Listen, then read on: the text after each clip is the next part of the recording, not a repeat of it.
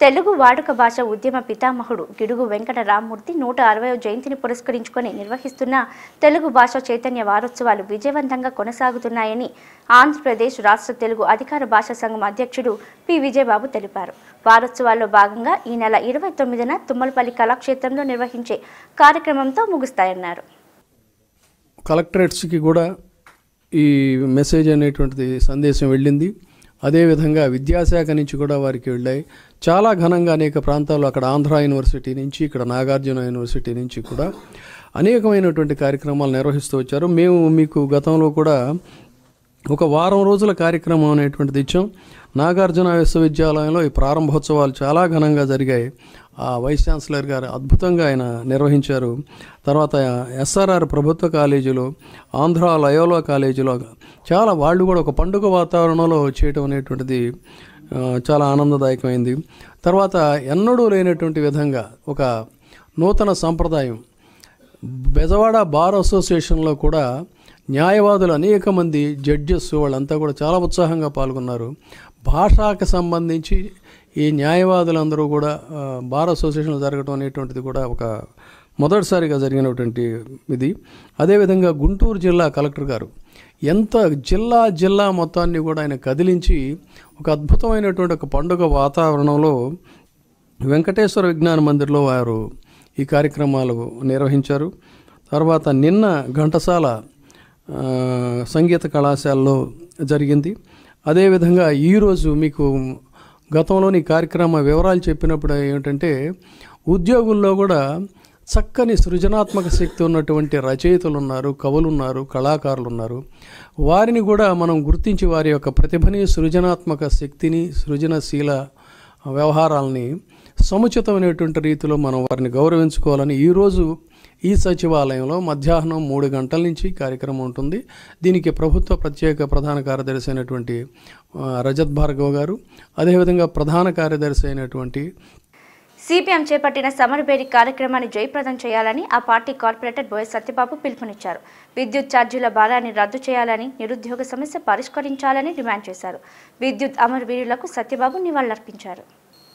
CPM చేపట్టిన సమరబేరి కార్యక్రమాన్ని జయప్రదం చేయాలని ఆ పార్టీ కార్పొరేటర్ బోయ సత్యబాబు పిలుపునిచ్చారు. విద్యుత్ ఛార్జీల భారాన్ని రద్దు చేయాలని నిరుద్యోగ సమస్య పరిష్కరించాలని డిమాండ్ చేశారు. విద్యుత్ అమరవీరులకు సత్యబాబు నివాళులర్పించారు. రెండు వేల ఇరవై మూడు జరిగినటువంటి ఏప్రిల్ నెల మే నెల జూన్ నెల వాడిన కరెంటుకి కట్టేసిన బిల్లులు కూడా ప్రతి నెల మన దగ్గర అదనంగా వసూలు చేస్తున్నారు. దీనికి ముద్దు పేరు పెట్టారు సర్దుబాటు ఛార్జీలని. ఇంధనపు సర్దుబాటు ఛార్జీలని? జగన్మోహన్ రెడ్డి ఈయన ప్రతిపక్ష నాయకుడు ఉన్నప్పుడు ఏమన్నాడు? చంద్రబాబు నాయుడు పరిపాలన కరెంటు ఛార్జీలు బాధుడే బాధుడు అని మాట చెప్పినటువంటి ఈ ముఖ్యమంత్రి ఈనాడు బాధుడే బాధుడు కాదు మహాబాధుడు వీరబాధుడు కరెంటు ఛార్జీలు ఎండాకాలం అనుకొని కొంతమంది భ్రమలు పడ్డారు. కానీ ఎండాకాలం పోయినా వానాకాలంలో కూడా కరెంటు బిల్లులు మోత మోగిపోతుంది. ఈ కరెంటు బిల్లులు తగ్గాలంటే సర్దుబాటు ఛార్జీలు వెంటనే ఆపాలి. అలాగే ఇంధనపు సర్దుబాటు ఛార్జీల పేరు చేస్తున్న భారాలను ఆపాలి. మీరు చెప్పిన ప్రైవేట్ కంపెనీలతో చేసుకున్న తప్పుడు ఒప్పందాలని సరిచేస్తాను. ఆ అధిక ఒప్పందాలని సరిచేస్తే కరెంటు బిల్లులు పెంచాల్సిన అవసరం లేదని చెప్పినటువంటి జగన్మోహన్ రెడ్డి ప్రభుత్వం ఈరోజు ఆ బడా కంపెనీలైనటువంటి ఆదానికి మన ఆంధ్ర రాష్ట్రంలో ఉన్నటువంటి కరెంటు ఉత్పత్తిని పంపిణీ అన్నిటిని కూడా దారాదత్తం చేస్తున్నాడు. ఈ ఆదానికి ఈ రాష్ట్రంలో ఉన్నటువంటి విద్యుత్ రంగం మొత్తాన్ని అప్పగిస్తున్నాడు. వైసీపీ ప్రభుత్వం కోట్ల రూపాయల విద్యుత్ భారాలు మోపడం వల్ల ప్రజలు తీవ్ర ఇబ్బందులకు గురవుతున్నారని సిపిఎం రాష్ట్ర కార్యదర్శి వర్గ సభ్యులు సిహెచ్ బాబురావు ఆగ్రహం వ్యక్తం చేశారు. విద్యుత్ ఛార్జీల భారాలతో పాటు మరోవైపు స్మార్ట్ మీటర్లు తీసుకురావడం దారుణమని మండిపడ్డారు. పెరిగిన విద్యుత్ ఛార్జీలు సర్దుబాటు ట్రూ అప్ ఛార్జీలు స్మార్ట్ మీటర్లను వ్యతిరేకిస్తూ సింగనగర్ విద్యుత్ సబ్స్టేషన్ వద్ద సిపిఎం ఆధ్వర్యంలో ఆందోళన నిర్వహించారు. విద్యుత్ బిల్లుల దగ్ధం చేసి నిరసన తెలియజేశారు. ఈ సందర్భంగా సిపిఎం రాష్ట్ర కార్యదర్శి వర్గ సభ్యులు సిహెచ్ బాబురావు మాట్లాడుతూ అధిక ధరలో పన్నుల భారాలను వ్యతిరేకిస్తూ సిపిఎం సమరవేరి పిలుపులో భాగంగా రాష్ట్ర వ్యాప్తంగా ఆందోళన కార్యక్రమాలు నిర్వహిస్తున్నామని తెలియజేశారు. విద్యుత్ ఛార్జీలను వెంటనే తగ్గించాలని డిమాండ్ చేశారు. ఈ కార్యక్రమంలో సిపిఎం నగర నాయకులు పాల్గొన్నారు. పెరిగిన కరెంటు ఛార్జీలు నిత్యావసర వస్తువుల ధరల పెరుగుదలకు వ్యతిరేకంగా సిపిఎం దేశవ్యాప్తంగా ప్రచార సమరబేరి ప్రారంభించాం. ఈ సమరబేరి మోగించడం రాష్ట్ర కేంద్ర ప్రభుత్వాలు దగా చేసినాయి. మోడీ గారు వంద రోజుల్లో ధరలు తగ్గిస్తానమాట చెప్పారు. ధరలు తగ్గించడం కాదు కదా ఇవాళ ఆకాశాన్ని అంటున్నాయి చంద్రయాన్ చంద్రమండలానికి చేరుకుంది. కానీ టమాటాలు ఉల్లిపాయలు నిత్యావసరాలు ఆకాశాన్ని ఎప్పుడో అంటుకున్నాయి. మరి ఇవాళ కరెంటు పేరుతో తీవ్రమైన దోపిడీ జరుగుతూ ఉంది. ఈ నాలుగేళ్ళలో సుమారుగా ఇరవై వేల కోట్ల రూపాయల భారం పడింది. పైపెచ్చు కొత్తగా స్మార్ట్ మీటర్ పెడతారంట. ముందుగానే బిల్లు ప్రీపెయిడ్ చెల్లించాలి. గంట గంటకి రేటు పెరుగుతూ ఉంటుంది. ఇది ఎక్కడ ఇంతవరకు ఎప్పుడూ లేదు. విద్యుత్ రంగాన్ని సర్వనాశనం చేస్తున్నారు.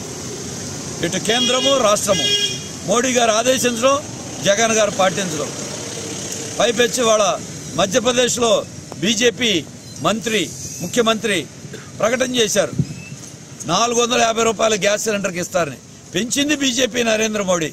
అంటే ఎన్నికలు మధ్యప్రదేశ్ అసెంబ్లీ ఎన్నికలు ఉన్నాయి కాబట్టి అక్కడ తగ్గిస్తారా? ఆంధ్రప్రదేశ్లో పన్నెండు వందలకు అమ్ముతారా? మీ చిత్తశుద్ధి ఉంటే దేశమంతా నాలుగు వందలకు తగ్గించండి. అన్ని రేట్లు పెరిగిపోతున్నాయి. రేషన్ డిపోల్లో సరుకులు లేవు. కందిపప్పు ఎత్తేశారు. పామాయిల్ లేదు.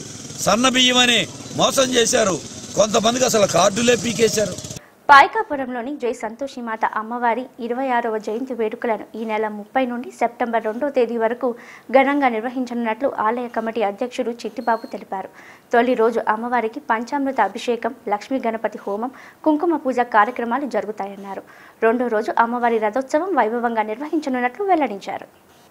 పైకపురంలోని జై సంతోషి మాత అమ్మవారి ఇరవై ఆరవ జయంతి వేడుకలను ఈ నెల ముప్పై నుండి సెప్టెంబర్ రెండవ తేదీ వరకు ఘనంగా నిర్వహిస్తున్నట్లు ఆలయ కమిటీ అధ్యక్షుడు చిన్ని చిట్టిబాబు తెలిపారు. తొలి రోజు అమ్మవారికి పంచామృత అభిషేకం లక్ష్మీ గణపతి హోమం కుంకుమ పూజ కార్యక్రమాలు జరుగుతున్నాయన్నారు. రెండో రోజు అమ్మవారి రథోత్సవం వైభవంగా నిర్వహించనున్నట్లు వెల్లడించారు. భక్తులు పెద్ద సంఖ్యలో పాల్గొని అమ్మవారి కృపా కటాక్షాలకు పాత్రులు కావాలని ఆయన కోరారు. ఇది గత కార్తీక మాసంలో పోయిన సంవత్సరం కార్తీక మాసంలో ఈ పునర్నిర్మాణం చేశాం. పోయిన సంవత్సరం నుంచి ఇంచుమించుగా ఆలయం వరకు పూర్తయింది. ఇంకా ధ్వజస్తంభం గోపురం కట్టాలి. అంత మాత్రకి మిగిలింది. అయినా సరే గతం కంటే ఈ సంవత్సరం బాగా జనం పెరిగారు దేవాలయానికి రావటం. ఆ వచ్చి ఇచ్చిన భక్తులు సహాయంతో ఈ నిర్మాణాన్ని ఇక్కడి వరకు పూర్తి చేసుకుంటూ వచ్చాం. అలాగే ప్రతి సంవత్సరంలాగే ఈ సంవత్సరం కూడా ఇరవై ఆరో మా అమ్మవారి పుట్టినరోజు జయంతి చేస్తున్నాం. ఈ ఇరవై ఆరో తా ఈ నెల ముప్పయో తారీఖున అమ్మవారి పుట్టినరోజు శ్రావణ పౌర్ణమి. అలాగే మొదటి రోజు అమ్మవారికి ఉదయం నుంచి పంచామృత అభిషేకం ఉదయం అలంకరణ ఉంటుంది విశేష పూజా కార్యక్రమాలు ప్రారంభమవుతాయి. అలాగే తొమ్మిది గంటలకి మరి లక్ష్మీ గణపతి హోమం మొదలవుతుంది. అలాగే పదకొండు గంటలకి సామూహిక కుంకుమ పూజ జరిగిద్ది ఆడవాళ్ళందరితోటి. సామూహికంగా కుంకుమ పూజ జరిగిద్ది. మధ్యాహ్నం మరి స్వామీజీలకి సత్కారం. ఆ తర్వాత మరి స్వామీజీలతో ఉపన్యాసం ఉంటుంది. అది తర్వాత ఇక ముప్పై ఒకటో తారీఖున రథం ఊరేగింపు అమ్మవారి గ్రామ ఊరేగింపు జరిగిద్ది. మరి మూడో ప్రతి సంవత్సరం మూడో రోజే అన్నదానం చేస్తాం. కానీ మూడో రోజు శుక్రవారం రావటం వల్ల అమ్మవారికి పులుపు పెట్టకూడదు. అలాగే పులుపు అన్నది వాడకూడదు కాబట్టి దాన్ని మేము రెండో తారీఖు శనివారానికి మార్చాం. వచ్చే నెల రెండో తారీఖున అమ్మవారి సన్నిధిలో అన్నదానం జరిగిద్ది. మెల్లంపూడి గంగానమ్మ దేవాలయం మరమ్మతులకు టీడీపీ జాతీయ ప్రధాన కార్యదర్శి నారా లోకేష్ యాభై వేల ఆర్థిక సహాయం అందజేశారని ఆ పార్టీ మండల అధ్యక్షుడు అమర సుబ్బారావు తెలిపారు. ఈ సందర్భంగా ఆలయం కమిటీ ప్రతినిధులకు చెక్కును అందజేశారు. సుబ్బారావు మాట్లాడుతూ అధికారంలో లేనప్పటికీ మంగళగిరి నియోజకవర్గ పరిధిలో అనేక సమస్యలపై స్పందించి ఆర్థిక సాయం అందిస్తున్న నారా లోకేష్ను రెండు వేల ఇరవై నాలుగు ఎన్నికల్లో భారీ మెజారిటీతో గెలిపించుకుంటామన్నారు. మంగళగిరి నియోజకవర్గం తాడేపల్లి మండలం మెల్లెంపూడి గ్రామంలోని గంగానమ్మ దేవాలయ అభివృద్ధి పనుల నిమిత్తం తెలుగుదేశం పార్టీ జాతీయ ప్రధాన కార్యదర్శి గౌరవనీయులు మంగళగిరి నియోజకవర్గ రథసారథి నారా లోకేష్ గారు అభివృద్ధి పనులకి యాభై వేలు విరాళంగా ఇవ్వటం మరి ఈ కార్యక్రమంలో పాల్గొన్నటువంటి ముమ్మడి సత్యనారాయణ గారు తమ్మిశెట్టి జానకిదేవి గారు నాగులు గారు అదేవిధంగా కాసింఖాన్ గారు వందన గారు శేషు గారు తదితరులు తెలుగుదేశం పార్టీ నాయకులు ఈ కార్యక్రమంలో పాల్గొని మరి ఈ ఆర్థిక సాయం ఇవ్వడం జరిగింది. నారా లోకేష్ గారు అధికారం లేనప్పటికీ కూడా అనేక రకాల సంక్షేమ కార్యక్రమాలు చేయడమే కాకుండా మరి మసీదులు మరమ్మతులకైతేమి గుడులు మరమ్మతులకైతే అనేక విధాలుగా కూడా తన సహాయ సహకారాలు అందిస్తున్నారు. పట్టుదల నిబద్ధత నిజాయితీతో పనిచేసే అబ్దుల్ అజీం ఐఆర్ఎస్ అధికారిగా పదోన్నతి పొందడం హర్షణీయమని పలువురు వక్తలు కొనియాడారు. రాబోయే రోజుల్లో మరిన్ని ఉన్నత పదవులు అధిరోహించాలని వారు ఆకాంక్షించారు. ఐఆర్ఎస్ అధికారిగా పదోన్నతి పొందిన అబ్దుల్ అజీంను ఆయన స్నేహితులు బందర్ రోడ్లోని central tax central excise CGST division కార్యాలయంలో ఘనంగా సన్మానించారు. ఈ కార్యక్రమంలో అబ్దుల్ అజీం స్నేహితులు మాట్లాడుతూ తమ చిన్ననాటి స్నేహితుడు అబ్దుల్ అజీం అత్యుత్తమమైన పదోన్నతి పొందడం ఎంతో ఆనందదాయకమన్నారు. వృత్తిలో పట్టుదల నిబద్ధతతో అంకిత భావంతో కృషి చేయడం వల్ల ఇటువంటి అవకాశాలు అందిపుచ్చుకున్నారని కొనియాడారు. రాబోయే రోజుల్లో అజీం మరిన్ని ఉన్నత శిఖరాలు అధిరోహించాలని వారు ఆకాంక్షించారు.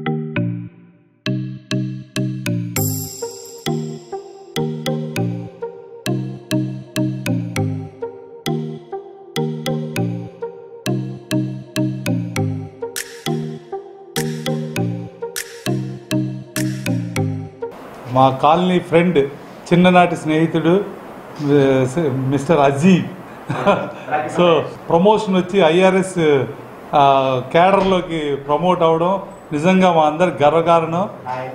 సో ఒక హ్యాపీ అకేషన్ సెలబ్రేట్ చేసుకోవడానికి ఈరోజు అందరు ఇక్కడ గ్యాదర్ అయ్యాం.